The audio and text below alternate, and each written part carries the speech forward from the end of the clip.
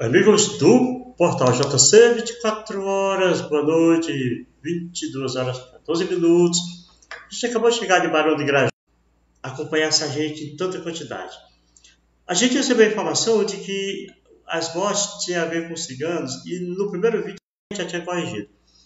Atenção, ciganos, muito obrigado por acompanhar a gente, viu? Mas muito obrigado mesmo, viu? Eu fico muito feliz com cada pessoa que acompanha e hoje mais ainda sabendo que essa comunidade em peso acompanha o JTC 24 horas. Agora, gente, é o seguinte, a notícia que a gente tem não é boa. Um florianense foi assassinado agora à noite, isso já depois desse episódio de Barão, mas foi em Valparaíso, no Goiás. Olha, aqui nós temos imagens lá de Valparaíso. Aí é o SAMU, né, a equipe de bombeiro, do bombeiros militar que foi fazer SAMU não, bombeiro militar que foi fazer o socorro né? Aqui é o pessoal da Polícia Militar lá do local, né? E quem nos passou essa informação foi a Camila. É o seguinte, o, o, a pessoa assassinada, deixa eu mostrar para vocês aqui, ele é daqui de Floriano, foi morto a tiros lá em Valparaíso. Vamos pegar a informação aqui com a Camila, vai nos dizer, ela que nos mandou essa imagem, né? Saber é, falar sobre esse, esse fato, essa morte desse, desse florianense lá em Valparaíso. Boa noite. Tá, boa noite, Temício, que já está 24 horas. Sim, aqui é, eu sou a Camila aí de Floriano, Piauí.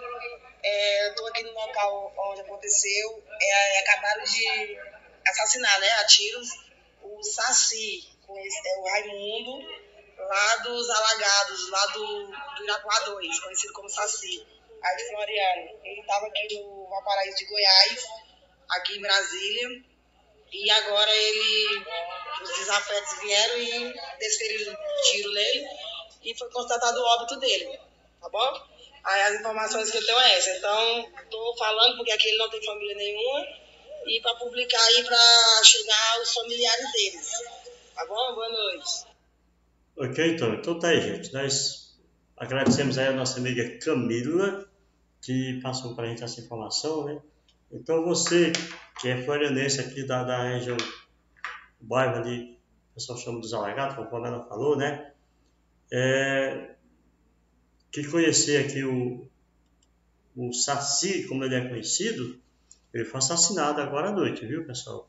Deixa eu só ver aqui quem está com a gente. Maria de Lourdes, Lucilene, Ismênia, Sulamita, está em Águas Lindas do Goiás acompanhando a gente. Maria Francinete, eu vejo aqui se alguém conhece ele. É Helena Cardoso, é, Juliana, Claudiane Santana, sempre acompanhando, muito obrigado. Gente, olha, esse aí é conhecido como Sacia, daqui de Floriano, da região dos Alagados, foi morto em, lá em Valparaíso, no Goiás. Quem conhecer, a informação que a gente recebeu aqui é que ele não tem mais os pais, os pais já são falecidos, aqui só tem irmão. E se a família não entrar em contato com o pessoal lá da, da polícia de Valparaíso, ele vai ser sepultado como indigente, né? Opa, o Romário está dizendo que conhece Raimundo. O Romário Godinho está dizendo que conhece ele, né? Rapaz, é, é, Romário, pois você puder fazer contato com a família, viu, para providenciar o contato com a polícia lá, viu?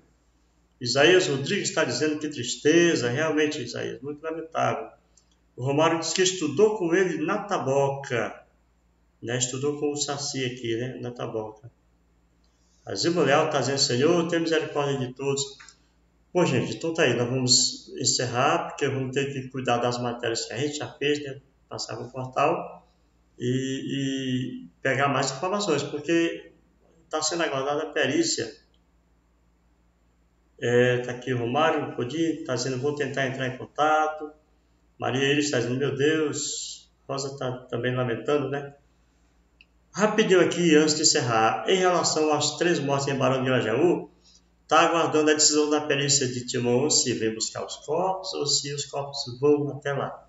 Eu, eu acho que essa altura já foi tomada a decisão, nós vamos já manter contato, é porque nesse espaço de tempo nós recebemos a informação aqui da morte do Raimundo, né, conhecido como Saci, morreu lá em Brasília, lá em Valparaíso, né? Isso agora há pouco. E nós fizemos aí essa, essa matéria para vocês, certo? Vamos encerrando, a gente volta a qualquer momento com mais informações acerca do episódio lá em Barão de Grajaú ou qualquer outra ocorrência de relevância para a gente repassar para vocês. Muito obrigado a cada um de vocês, que Deus abençoe a todos nós e um abração aí para a comunidade cigana que não perde um vídeo do JC, rapaz. Muito obrigado, turma boa. Portal JC, 24 horas com você.